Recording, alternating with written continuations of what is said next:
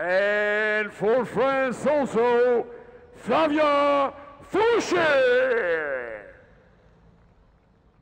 And for Germany, Ron Pucklitzsch.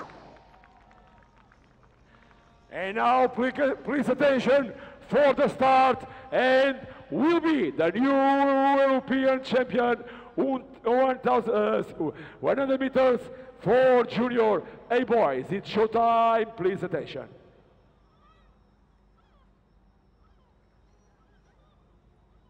And they start all the three skaters with a big, big, big, big speed. And who is the winner? Run, run, run, Pulkic! Germany! Run from Germany!